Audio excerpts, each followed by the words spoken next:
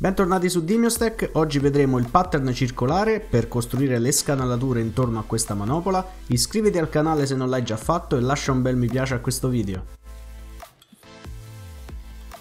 Ok, iniziamo la modellazione disegnando il profilo di base. Clicchiamo su Create Sketch e selezioniamo il piano XZ. Premo il tasto C sulla tastiera, mi posiziono sull'origine e imposto 35 mm come diametro. Premo Stop Sketch. Ora dovremmo fare un'estrusione verso l'alto di questo profilo, ma dal momento che la manopola avrà la parte superiore con un diametro maggiore rispetto alla parte inferiore, andrò a creare un offset plane ad altezza esattamente 40 mm, che è l'altezza che vogliamo dare alla manopola, e su quel piano andremo a disegnare il profilo superiore della manopola. Sotto il menu Construct selezioniamo Offset Plane. L'offset plane partirà dal profilo appena disegnato e sarà spostato verso l'alto di 40 mm. Ora disegniamo uno sketch esattamente su questo piano, quindi Create Sketch, seleziono il piano e qui sopra creo con il tasto C un cerchio con diametro 45 mm. Premo il tasto Stop Sketch.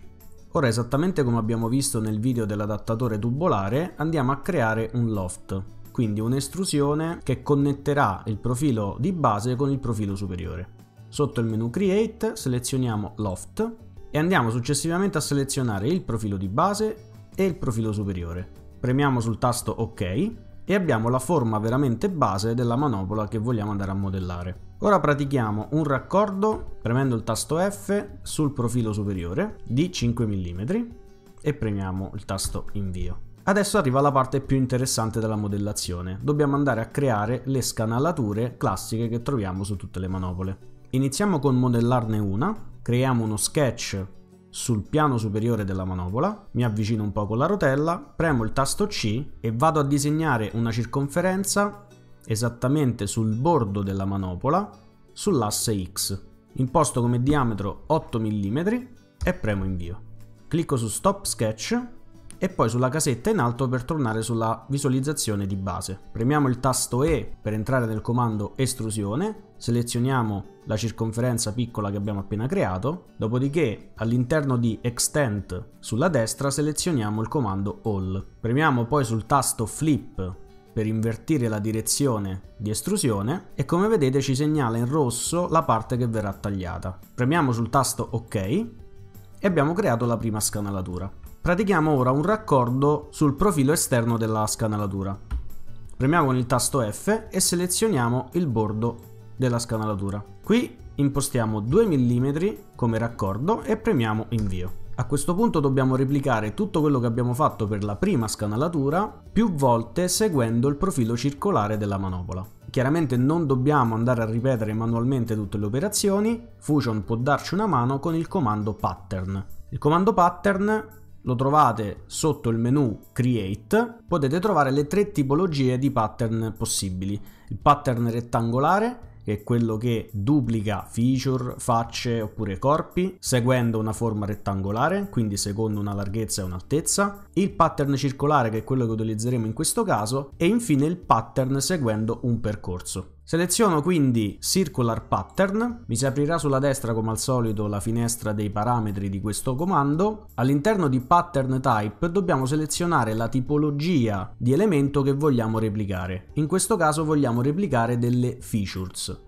ovvero vogliamo replicare l'estrusione e successivamente il raccordo. Quindi seleziono direttamente dalla timeline in basso premendo il tasto Shift il simbolo del raccordo e il simbolo dell'estrusione. Come vedete Fusion colora in azzurro tutto ciò che abbiamo selezionato poi mi sposto qui sulla destra, clicco su questo tasto Select a fianco alla voce Axis per selezionare qual è l'asse attorno al quale deve essere creato questo pattern circolare. Nel caso del pattern circolare posso anche direttamente selezionare il profilo circolare intorno al quale andare a fare le scanalature e a questo punto non mi resta che selezionare la quantità di scanalature da creare. Il valore di default che Fusion ci dà è 3, in questo caso aumentiamo a nostro piacimento, nel mio caso ne faccio 8 e premo ok. Come vedete Fusion ha replicato completamente tutto quello che avevamo fatto per la prima scanalatura. Il vantaggio di aver utilizzato il pattern circolare è quello che posso sempre tornare indietro e modificare i parametri che avevo impostato per la prima scanalatura. Supponiamo che io volessi fare le scanalature leggermente più strette, quindi mi basta andare a fare doppio clic sul simbolo dello sketch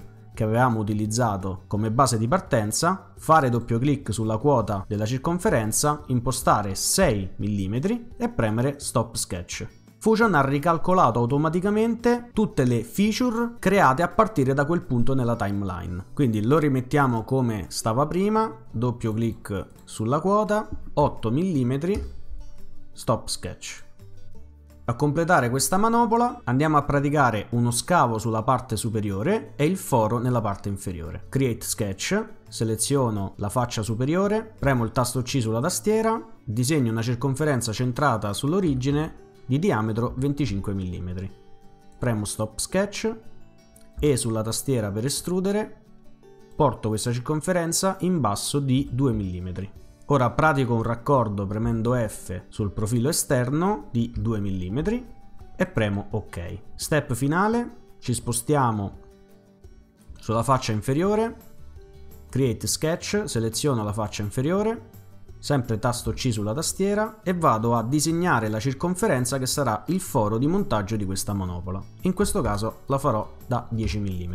Chiaramente dipende dall'applicazione che volete dare a questa manopola. Premo il tasto E e scavo all'interno di quello che mi occorre, in questo caso meno 20 mm. E premo ok. La modellazione è terminata, questa manopola può essere stampata tranquillamente come la vedete posizionata a video. L'unico problema che potreste avere è il foro in basso, chiaramente, perché ha necessità di supporto. Qualora volesse stampare senza supporti questo modello, occorre andare a eliminare questo spigolo vivo nel foro che abbiamo praticato nella parte inferiore. Un modo intelligente per farlo è andare a fare un chamfer che imposti una pendenza di 45 gradi che consente alla vostra stampante di ricreare questo pezzo senza necessità di supporti. Facciamolo subito, all'interno di Modify troviamo Chamfer, selezioniamo il profilo superiore del foro, qui sulla destra all'interno di Chamfer Type selezioniamo Distance and Angle, l'angolo è impostato a 45 gradi e andiamo con la freccia verso l'esterno finché non si elimina lo spigolo che avevamo prima. Premiamo OK e la modellazione è completa.